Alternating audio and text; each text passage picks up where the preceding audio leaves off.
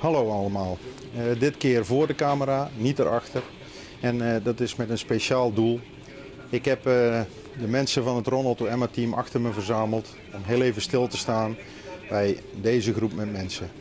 Een hele bijzondere groep met mensen heb ik gemerkt.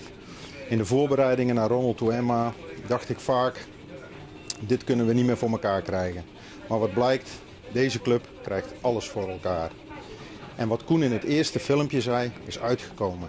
Achter mij zit en staat een hele hechte groep die vastberaden is om te gaan voor dit doel. Daarom vraag ik jullie om nog één keer stil te staan bij de inspanningen van deze groep achter me. En ik zou het fantastisch vinden als jullie nog eens een keer zouden willen doneren aan dit fantastische doel. En onze doelen versteld zouden kunnen laten staan van het resultaat wat wij binnen kunnen halen door deze reis. Dus denk nog eens een keer aan ons en doneer graag. Jongens.